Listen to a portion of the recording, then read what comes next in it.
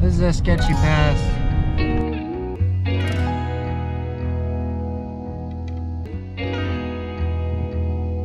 Closest mountain I have to me. Great Sand Dunes National Park is down there. There's Buddy. Those mountains are probably the prettiest. Way back there. A little fire. If I can find some firewood. to weight loss by trying to regain weight. Y'all check this out. So I was watching the storm go over the, uh, the mountain right there. And um, it's been chilling there all yesterday and today and everything.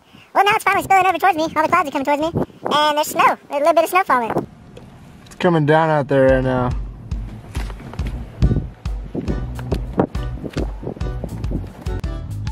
So this will definitely be the last time I shoot towards my van. I shot way over there because I was retrieving an arrow. And I just wanted to kind of lob it back over here, maybe hit it. Well, it bounced, bounced there, went past this tire, and it's right there. You'll see it, you'll see the end. It's underneath my tire.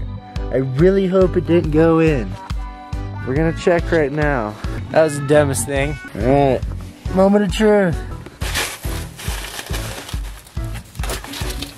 I think it just went in the ground. I think I got lucky. I got real lucky. I ain't hearing no air come out. That was dumb. I gotta do dishes tonight. Day. Rather not do it at night. A little cold at night.